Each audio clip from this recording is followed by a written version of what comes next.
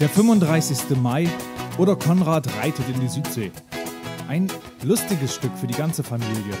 Mit viel Fantasie und jede Menge Überraschung. Zum Beispiel dem Zirkuspferd Nico Caballo, das sich vorstellt und bekannt macht mit Onkel Ringelhut und seinem Neffen Konrad. Sie machen allerlei Unfug, doch es hilft nichts. Konrad muss seinen Aufsatz über die Südsee schreiben. Deswegen machen sie sich auf den Weg nach der Südsee. Konrad ist guter Dinge und hofft, dass er seinen Aufsatz fertig bekommt.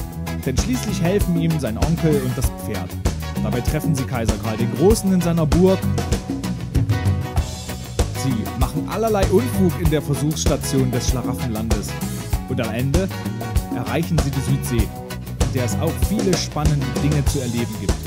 Deswegen seid dabei, wenn es heißt, der 35. Mai, Konrad reitet in die Südsee. Bei uns auf der Freilichtbühne in Lohne am 25. Mai ab 16 Uhr.